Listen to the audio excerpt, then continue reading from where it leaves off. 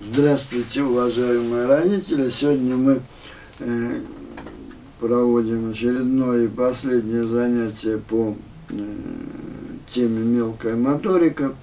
Вот. И вернемся немножечко к более старшим детям, потому что есть еще несколько движений, несколько элементов, которые я хотел вам э, рассказать. Ну вот одно из, ну многие упражнения вы, скажем, знаете, надо ребенку уже в более старшем возрасте, там 6-7 лет, может быть даже кто-то, кому-то чуть раньше, э, использовать э, различные э, средства, которые, ну, везде есть, они общедоступны, это и аппликации, это и пазлы, это и лего, это и конструкторы различные, вот, интересно Э, сразу приучать ребенка к созданию каких-то красивых композиций, которые можно, ну, стимул должен быть, да, которые можно подарить, которые можно сделать какому-то празднику, который э, доставит радость э, близким. На самом деле дети совершенно неравнодушны, они очень любят доставлять радость любимым э, людям. Поэтому вот, э, скажем, да, такой вот подарок, сделанный руками ребенка, он должен вызывать вот всеобщий восторг и стимулировать этим самым э, продолжение этих занятий. Вот. Значит, э, ну, кроме того, скажем, детям более маленьким, когда вы приучаете этих детей к работе, скажем, с бумагой, можно начинать э, с изучения форм бумаги, то есть дать возможность смять, порвать э, там на всякие разные кусочки, вот, э, сделать из этой бумаги что-то такое, вот типа какого-то вот, как с пластилина какого-то кома, какой-то вот что-то надорвать, что-то, в общем, короче, дать возможность раскрыться полностью творчеству ребенка.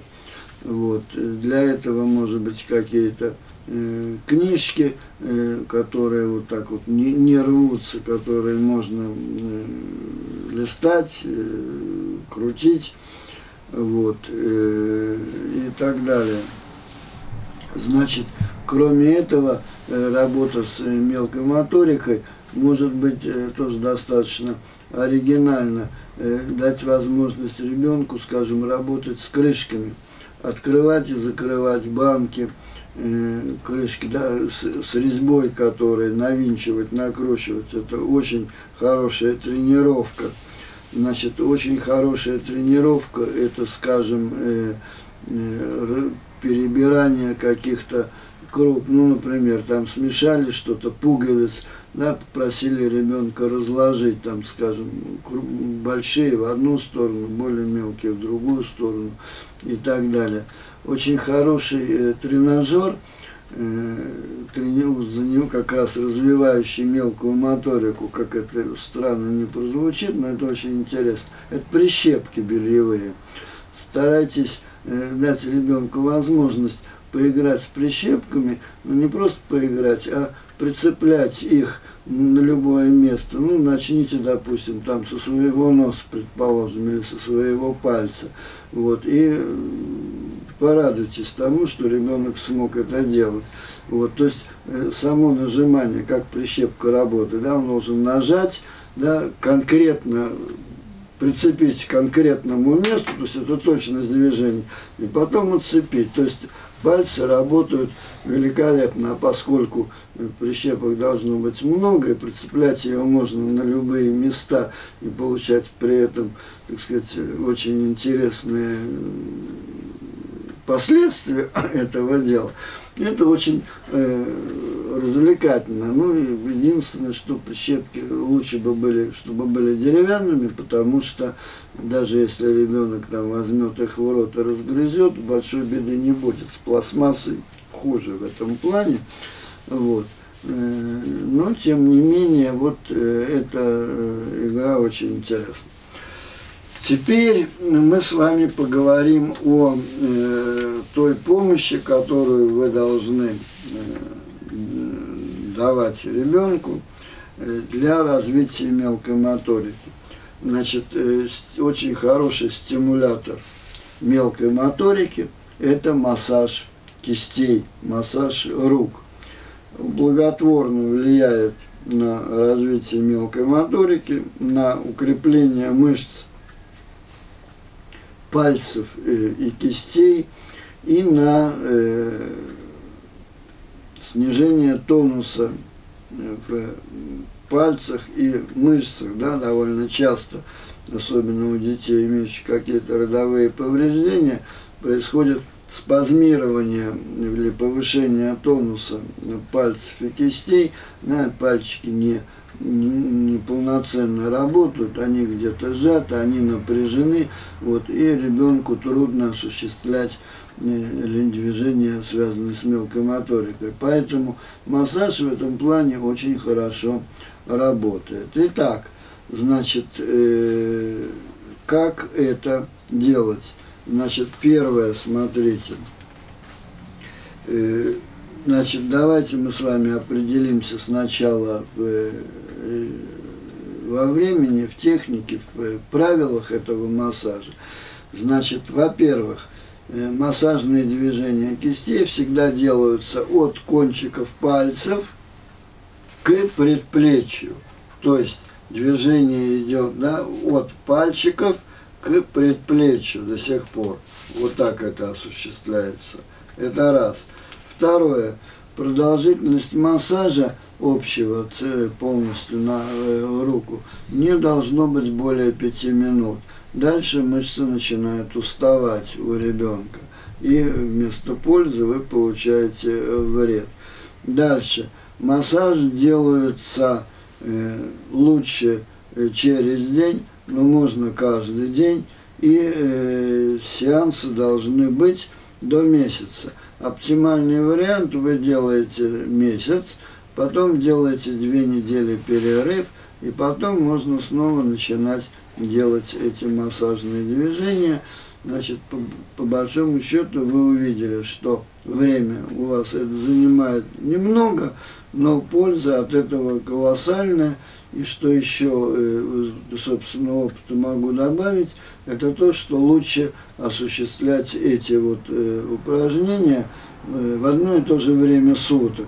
Ну, выберите, скажем, время, когда вы практически всегда можете вот, посвятить это ребенку и, э, скажем, да, для того, чтобы не ребенка беспокоить, и вы могли бы уже постоянно делать это в течение, скажем, 30 дней. Значит, э, ну, такие общие правила для массажа. Это э, руки должны быть, конечно, чистыми, э, ногти должны быть подстриженными и на руках ваших не в период осуществления массажа не должно быть никаких украшений. Будете, можете отцарапать, поэтому кольца, браслеты и прочие там всякие вот, ваши э, украшения вы снимаете и работаете с ребенком вот так, как я сказал, регулярно и так далее.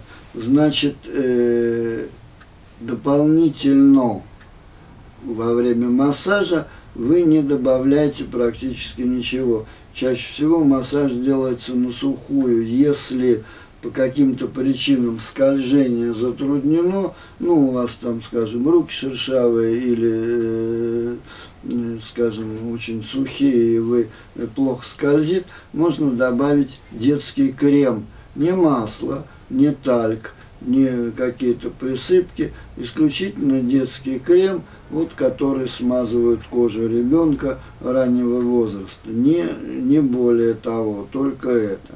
Итак, Значит, э, непосредственно упражнение. Первое. Рука ребенка лежит на столе. Или э, если э, он маленький и ну, не, не лежит, вы сделаете проще. Вы положите руку ребенка на вашу руку, на ладонь, да, и фиксируете. И что вы делаете? Э, вы, фиксируя запястье, поднимаете каждый пальчик малыша до максимального э, расстояния вверх. Каждый пальчик вверх, ну не надо только ломать, вот настолько, насколько поднимается. И опускаете вниз. поднимаете вверх и опускаете вниз. Да, значит, э, таких движений на каждый пальчик 2-3. Ну, можно начать с одного, потом делать два, и на следующий день делать три раза. Э, каждый пальчик по одному разу одну руку, по другую, в другой раз другую руку. Дальше. Значит, то же самое. Э, положили э, ладони ребенка на свою руку или на какую-то поверхность, но ладонью вверх. Да, вот так. Значит, и что вы делаете? Э, следующее, вы сгибаете пальцы вовнутрь. Опять же, каждый пальчик до конца ладони, то есть он согнутый до конца. И потом выпрямляете до исходного положения. Точно так же начинайте с одного раза каждый пальчик, в следующий раз делайте два э, сгиба, в следующий раз делайте каждый пальчик по три сгиба. Все, больше не надо. И осуществляете э, движения эти на одной руке, потом руки меняете. Значит, э, это как бы подготовительное упражнение, собственно, к массажу, но э, они необходимы. Дальше, значит, кисть ребенка лежит у вас на ладони, и вы осуществляете поглаживающие движения от кончиков пальцев до середины предплечья, чуть-чуть надавливая – причем движение осуществляется надавливание от пальчиков к локтевому суставу, а потом э, более сильно, а потом плавно, аккуратно, чуть-чуть дотрагиваясь, чисто поглаживающими движениями, ведете руку обратно. До пяти раз такое движение осуществляете. Да, э, от пальчиков к локтю идет с нажимом легким, и от э, локтя к пальчикам идет совсем легкое движение, просто, ну, как бы вот, э, как дуновение ветерка осуществляете это движение. Раз. Дальше. Э, движение э, ведете вот такое от э, пальца, ногтя к основанию пальца, смотрите, чуть-чуть пощипываете – Сейчас я покажу на себе, это будет более, более понятно. Вот рука лежит, и вот вы осуществляете вот такие, так видно, вот такие пощипывающие движения. Ну, настолько, на столько раз, насколько пальчик у ребенка, там 2-3 движения. От ногтя пальчику можете чуть погладить опять от ногтя до э, начала пальчика. Каждый палец по, э, где-то по одному разу вы такое движение осуществляете. Значит, э, дальше идет растирание. Берете каждый пальчик и растираете тоже от э, ногтя до основания пальца. Вот, лучше работать вам средним пальцем, вот осуществляете вот такие движения. Ну, насколько ваша фаланга поместится на пальцы ребенка. Ну, может быть, два-три круговых движения у вас получится. Значит, э, следующее движение, которое вы осуществляете, это растирание э, ладони от э, запястья к пальцам, круговые движения идете по ладони и каждый пальчик осуществляете вот, вот такими движениями, да, вот осуществляете растирание круговыми движениями и переходите на каждый пальчик, чуть-чуть надавливая.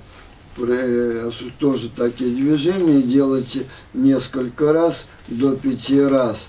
Значит, и э, э, впоследствии вы заканчиваете э, массаж, повторяя первое движение, то есть поглаживание, напоминаю, да, поглаживание пальцев от э, ногтевой фаланги до запястья и обратно. Поглаживание осуществляете как с тыльной, так и с наружной стороны ведете. Этим вы заканчиваете массаж. Вот такие упражнения, такие массажные движения – вы должны осуществлять, занимаясь с ребенком. И поверьте, что очень быстро э, вы почувствуете, как э, руки ребенка стали работать э, по-другому. И